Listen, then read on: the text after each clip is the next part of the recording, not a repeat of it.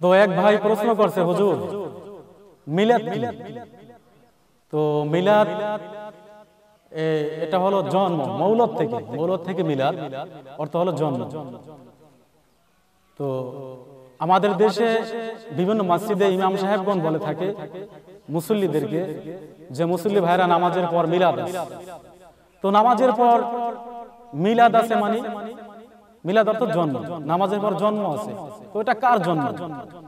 তো এটা আসলে সম্পূর্ণ ভুল কথা। এরপরে মিলাদ বলতে যেটা বোঝানো হয়েছে, তো মিলাদ বলতে বোঝানো হয়েছে ইয়ানবী সালাম আলাইকা। তো মিলাদ বলতে যে ইয়ানবী সালাম আলাইকা, এটা আপনি কোথায় পেলেন?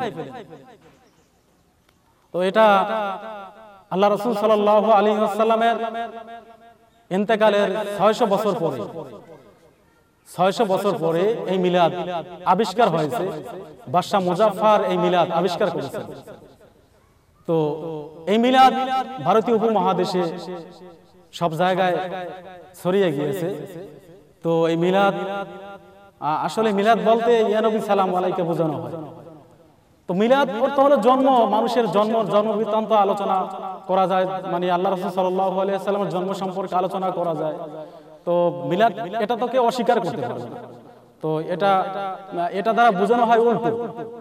উল্টা কথা বোঝানো হয় যে নবী, সালাম আলাইকা এটার নাম মিলাদ। তো এই যে আল্লাহ রসুল সাল্লাম ইন্তেকালে ছয়শো বছর পরে আবিষ্কার হয়েছে।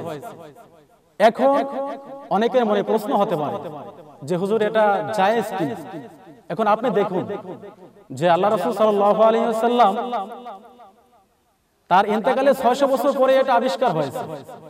কিন্তু যদি এটা জায়েজই থাকতো তাহলে আল্লাহ রসুল কেন সাহাবাই কেরামকে বলে বলে দেন না এই কথা?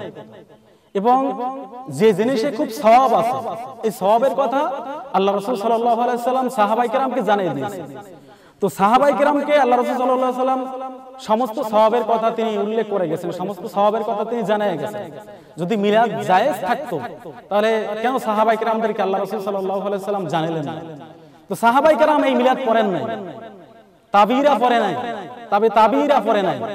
আপনি কোথায় পেলেন এবং এই যে প্রচলিত মিলাদ, এটা ব্যাকরণের দিক থেকেও সম্পূর্ণ ভুল এবং হাদিসের দিক থেকে উল্টা।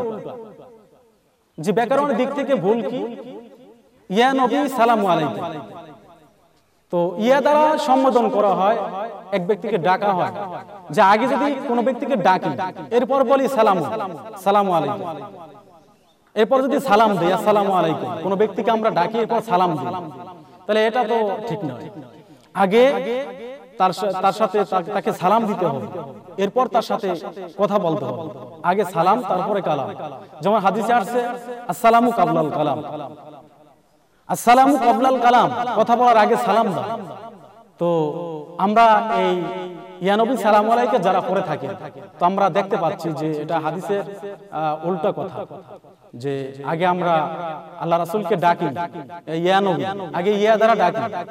এরপর ইয়ানবী নবীকে ডাইকে পর সালাম দিই, সালাম আলাইকুম।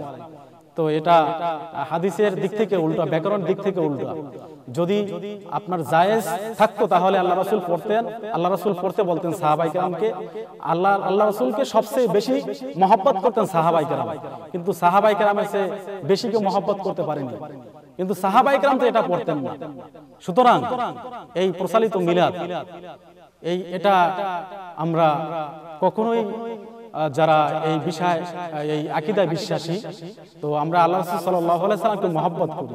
তো আমাদের এরকম এই মিলাদ, এটা বাদশাহ মুজফার রচিত মিলাদ, আমাদের না পড়া উচিত